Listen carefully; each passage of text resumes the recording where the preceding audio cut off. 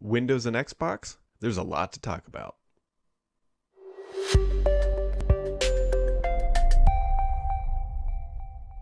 Happy Friday, friends! It has been it has been a crazy good week. Uh, if you are in the camp of Microsoft, I guess I should say maybe maybe not necessarily if you're internal to Microsoft or you're planning something for next week, but from an outside observer, there was just a ton, a, a ton of information. We had uh, Windows 11 leak, Windows 11 leak. We had uh, just ton of stuff going on with Xbox. Um, there was also Microsoft's hybrid event, and so next week is looking even crazier. But let's just dive into what happened last week today. So, uh, Surface Hub that thing that Microsoft announced initially that was going to be full, I should say Surface Hub 2 that Microsoft initially announced it would be foldy and, and extensible and all that stuff that really just kind of turned into a, a second generation of the first thing. Anyways, is evolving yet again. Microsoft Teams software has always been on the Surface Hub, but now Microsoft is actually taking it to the next logical level and they're turning it into a Teams Rooms experience, which is a little hard to say, but this is a, a customized experience designed explicitly for meeting environments. And it's honestly a little bit surprising that it took this long for it to arrive. But anyways, uh, look for that to be arriving here. I believe sometime starting this summer, Microsoft is going to roll out that experience. So if you have that hardware, by the time hopefully everybody's migrating back to the office or whatever your office is doing, that experience will be live on those devices. Uh, Microsoft also completely overhauled its whiteboard experience. Now, this is an application that allows you to, as the name suggests, whiteboard from multiple locations. And they did a pretty good job. It's kind of hard to explain in words, but it's now much more collaborative. Uh, it's not quite using fluid components, which we'll talk about here in a second yet, but those are coming soon.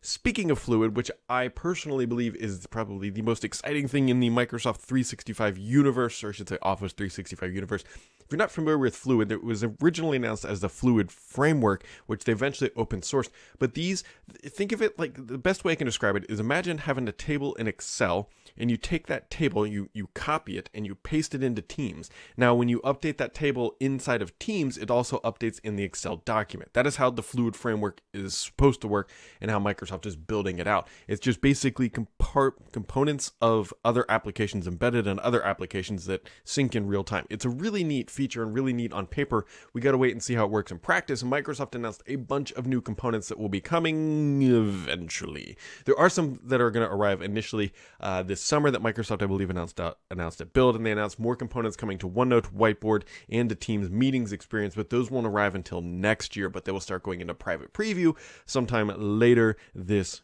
year. Now, the big, the biggest news of the week by far is the Windows 11 leak. Now, if you haven't uh, seen or heard much about it, I have a good walkthrough video on my YouTube channel, which you can find. Uh, if you're watching this on YouTube, you can just go scroll back. If you're not, just go to YouTube, whatever.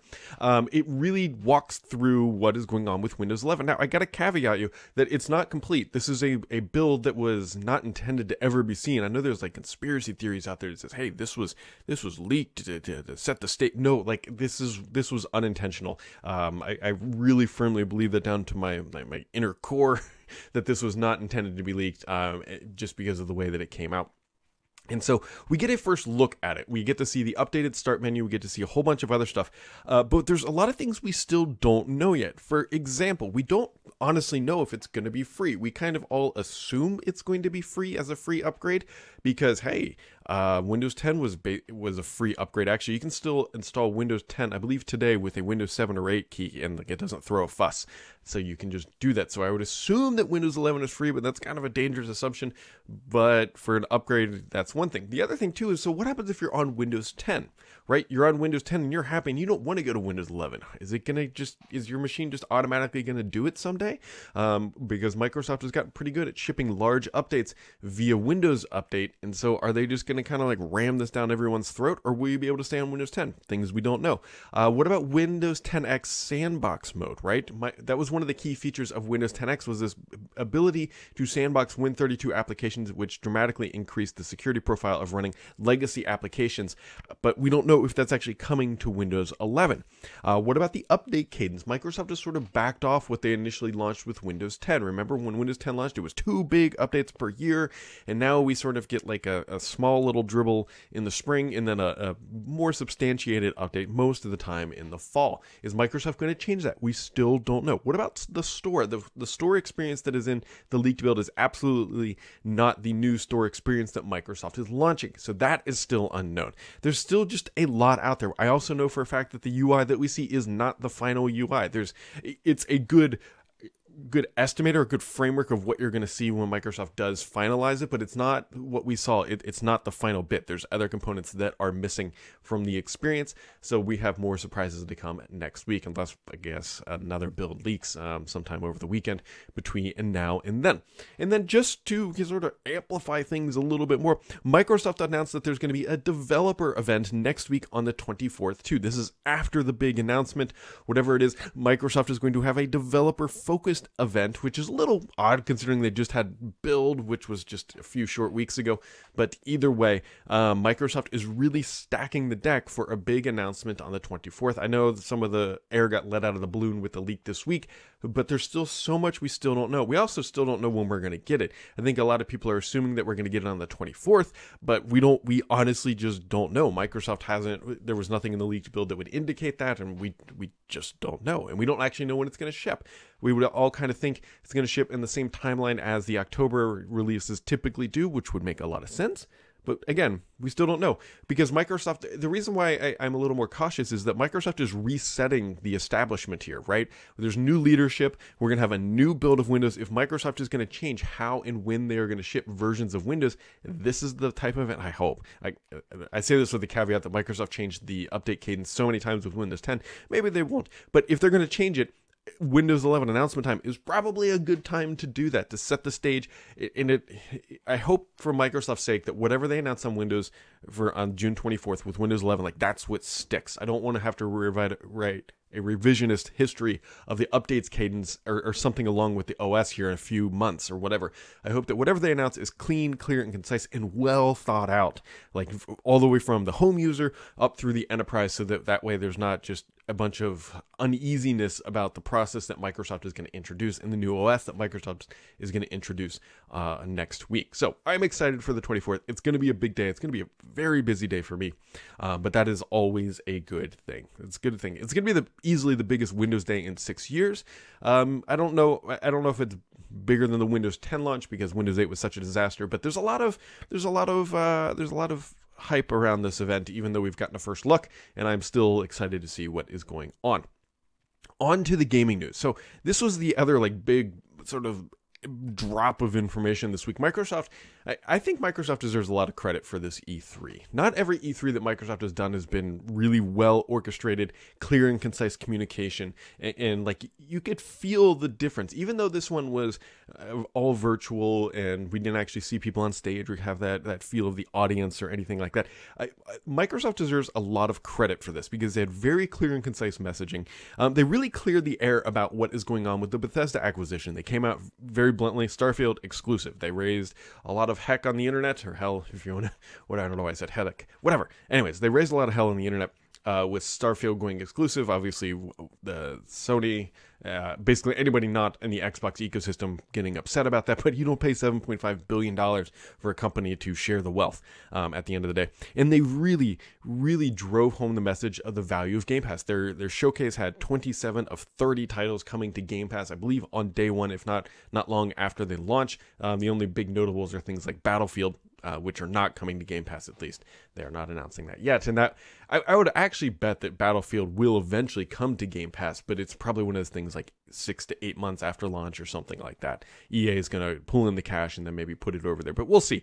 We will see. But the thing the thing here is make no mistake that Xbox really is starting to, to hit its stride. Like they felt really confident in their direction and uh, the communication around like, hey, Game Pass is the future. It's cloud gaming. It's any endpoint. It, the messaging was there. The games were there, and the execution was all there. And that's that's not something that always happens with the world of Microsoft, or more specifically, sometimes Xbox. And so this E3, I think they did just a really good job of aligning on messaging, and get it out and the thing you got to take away from this is this wasn't something that just happened since January, right? This has been years of investment to get to this point. You don't get all these titles launching on Game Pass by just signing a few contracts in September. This takes years of, of vision and foresight and then uh, getting all the pieces in place and then actually executing and then getting it all aligned so that it actually does happen when you need it to happen. As they said on stage, uh, building games is very difficult, very difficult um, and getting the the game developed, getting it funded, getting it delivered, and getting it ready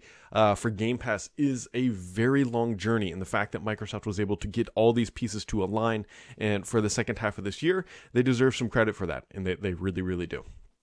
So, uh, on to the questions of the week because there are, I think, record setting amount of at least comments uh, onto the questions. So, uh, Ikajondan, Ikajondan probably butcher that. What is the likelihood of Windows 11 reducing update annoyances? Well, I, I guess the question becomes what do you consider the annoyance? For me personally, I think the annoyance is that there's these two pots of updates per year, and one of them will you know kind of take over your machine, and then it's like your files are right where you left them. Hopefully, um, I hope that I, I hope that it does. I hope that Microsoft really just aligns again on the update cadence of. I'm, I'm hoping there's just one update per year. Microsoft has really shown that that's probably where they're headed because as the spring update we just saw only fixed things like Windows Hello cameras uh, it, and that was it. And to me, that's more of like a Patch Tuesday sort of thing. And the fact that it it just does it overnight and you don't even notice that it does the install really makes me think that Windows 11 will reduce the number of annual significant updates uh, to the OS. Uh, Iceman's Iceman Jaceman says uh, one extra question how does all the feature experience pack Windows 10 versus Windows 11 licensing ooh come into play if Windows 11 is also Windows 10 Cobalt 21 H2? I don't think it's well um, the licensing on this is impossible to know at this point. I would assume that the Windows licensing model that has existed with Windows 10 is probably not changing. It's probably not changing. Although licensing is a lot like marketing, you can change at any moment. And if Microsoft really feels like turning that wrench of revenue, um, they can do it as they please. But I would not expect significant licensing changes with between Windows 10 and Windows 11. And says, do the operating systems differ by just by feature experience or both by feature experience and build number? I believe it's a little bit of both, but I believe, well, I see, we don't quite know Microsoft's full strategy here. That we, you can imagine that the underlying build actually probably may not change, and that the experience packs do exactly what they say. They bring different experiences to it without updating the underlying build. These are all of the unknown questions that Microsoft hasn't laid out. We can try to guess based on what is happening with the Insider program and seeing all the different builds either being stabilized or still coming out uh, with different variations, but it's you're you're you're reading tea leaves, but not exactly the best tea leaves because Microsoft will make a final decision and then just stick with it, hopefully. Uh, Tourniquet says, I've got a couple questions, and that is okay. Uh, will there be an option in Windows 11 to use the classic start menu in the leaked build? There is not an option for it yet. So we don't know this, actually. And, and classic, I would assume you mean Windows 10 and not classic like, like Windows XP or whatever. Anyways, um, as of the build that leaked, there is a registry key that you can tweak that will bring back the old start menu. Will Microsoft leave that available in the registry? We don't know. We don't know. So technically, as of the leaked build, yes, but we don't know if that's actually going to be in the final build. Uh, what does Windows 11 mean for the future of Windows Core OS? If you remember back in the day, there was a battle between Myerson and Sinofsky regarding whether the this which is the better OS for tablet and Windows Phone and all of that. I would not think so it is my understanding that features and functionality that, that were developed for Windows Core OS will be migrated to proper Windows. We don't fully know where that Windows Core OS is, but what we are seeing uh, indicated by Microsoft with the canceling of Windows 10X is that the proper Windows that we have known and enjoyed for decades is the future for at least now. So that's all we know. And then three, do you have any information on Windows Nickel? Will if Windows Nickel will be a desktop release or if they will skip it similarly to the skipped Manganese for the desktop. Oh, you're referring to the code names. I was thinking of the coinage here in the United States. Um, I think it's a bit too. I mean, I know that there's Sun Valley 2 already in development, so I think that probably. I don't know if they're going to use that code name. The reason why I don't know if they're going to use that code name is if I remember correctly, that is an Azure naming scheming convention, and things have changed, right? We've already seen Sun Valley and the names Cherry Hill, and there's also Firesteel. And there's also, I think, another one floating around in there. Uh, so I don't know if Windows Nickel will stay because of, of the leadership change. Sidechoker says, "Hope you're doing. Hope you were doing. Uh, could hope you were doing well too. Uh, could we see XCloud on the Switch in the near future? Theoretically possible. Is Nintendo going to allow that? I don't think so. Uh, would Microsoft like to bring XCloud or cloud gaming to the Switch? Absolutely. Why wouldn't they? That's their their marching orders are to get more people to sign up for cloud gaming. And how would you do that? Put it on the Switch. I suspect that Nintendo would not allow that. I, I really don't. Uh, could we see an xCloud powered handheld from Microsoft or Xbox? I mean, theoretically, yes, but I would be. I don't know why they would. I think they should, they'd be better off taking the Surface Duo and adapting it to that type of an environment. But for Microsoft, it's more important for them to get cloud gaming subscriptions than it is to sell hardware because hardware has exceptionally low margins. Uh, actually, they might even. I don't think they're making money yet on the Xbox consoles uh, that they're selling in the Series S and X. So I don't think they are. I, I really don't think they're going to build a dedicated handheld. Um, uh, will Windows become completely free with Windows 11? I, I would imagine it's going to follow a very similar model for the consumer, meaning when you buy a Windows device from Best Buy or whatever, you're actually paying a licensing fee. You just don't see it there. When you're upgrading your existing device, probably not. In the enterprise, oh yeah, they're definitely going to be paying. Uh, Microsoft would never give up the enterprise dollars. Uh, Windows 11 11 UI design on the Surface Duo 2, doubtful because it's Android. So, I mean, maybe if the Neo ever you know, resurfaces, hey, I get the point.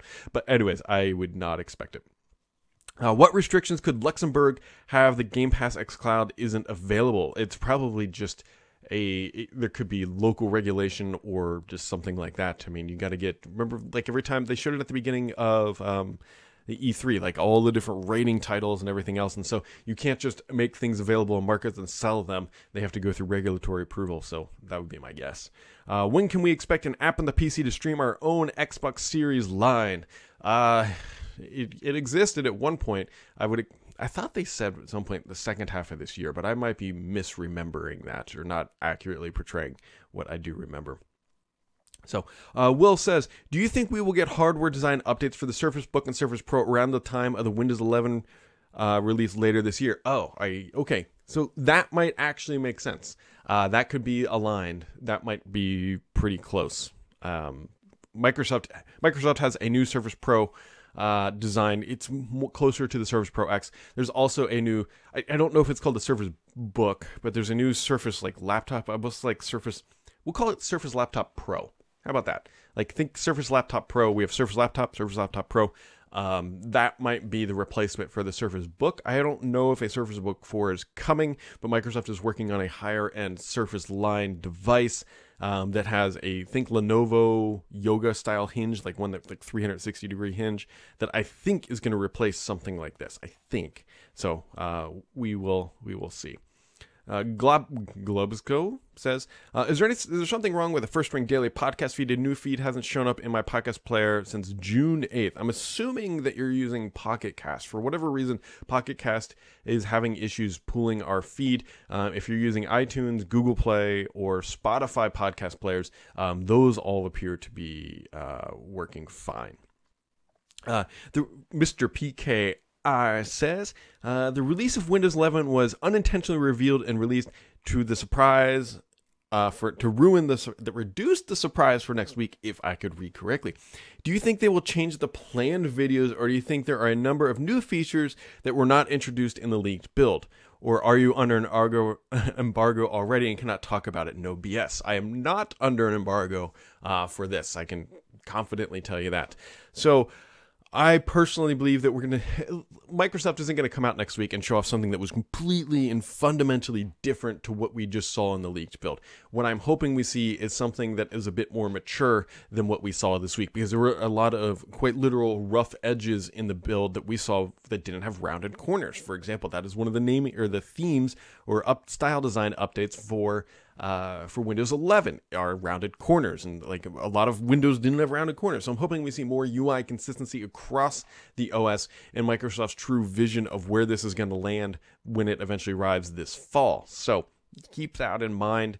I still think Microsoft has a few more than a few surprises for next week, so let's just keep going on that. We'll just we'll wait. I mean, we're less than a week, so hopefully, well, by the time we do this podcast next week, we'll have all the deets, all the deets, which will be good. Uh, Rubber Duck says, "Hi, Brad. Greeted from Belgium. Belgium has some wonderful breweries and beer. Uh, two questions: uh, Is there any clarity on how long games stay in Game Pass? So." Uh, it depends on the developer or the publisher potentially. First party, I believe first party always are staying in. So Microsoft games that they build and, and fund and all that will stay in Game Pass forever. Third party games are really up to the agreement. Now, Microsoft pays for lifetime, whatever inclusion or whatever the, the business arrangement is, then that happens. But it, there's no, I don't believe there's any standard that, hey, it's going to be in Game Pass for a minimum of X amount of days. That is, it just really kind of depends on, um, on the agreements. Uh, how stable will the insider builds of Windows 11 be on release? Is it advisable to install them?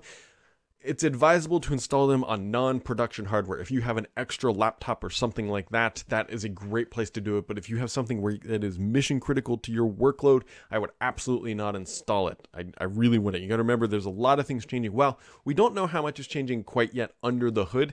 The UI elements are all changing, and those can lead to lead to uneasiness and just application incompatibilities. And so I would I would hold off uh, until we get some more testing under the belt. Uh, Bashnat says, uh, first timer question. Welcome. Uh, why Ohio? Paul apparently loves to move a lot. Have you thought about moving and where to? I hear Pitts. Oh, not moving to Pittsburgh. Uh, is a real great place. Now I'm just trolling. Okay, so I can't move to Pittsburgh ever in my life because I'm from Cincinnati and the Bengals and Pittsburgh have a, a pretty significant uh, NFL rivalry. Although honestly, Pittsburgh I haven't been through there. It is it's a nice area.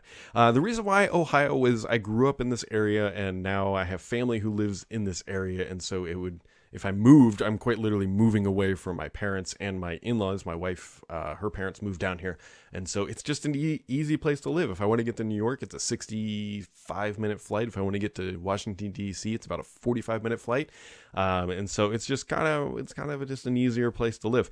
If I were to move anywhere uh, right now. I think like North Carolina would probably be pretty high up there. Like my and my ideal place would be someplace that's like four hours from the beach. I think like a nice beach would be it. That way you have lower cost of living, but if you want to pick up and go for the weekend, it's something you can absolutely do. Um, Jim Chaplin says Battle of the Second Tier Sci-Fi Series, Babylon 5 or Stargate. I'm going to annoy everyone and say I haven't seen either. Um, that's that's about that. Uh, Shark 47 says I'm curious to hear your thoughts about Panos Panay. How would you rate his performance with Surface mainly so far? I guess it depends on what context because he took over Surface that was in a bad place, sort of. Um, you got to remember Windows RT and all that when he took over the leadership role, and so things have really turned around. And people, I, be- I believe, look at Surface as a higher quality product than say your run of the mill like Acer PC that you see at Best Buy.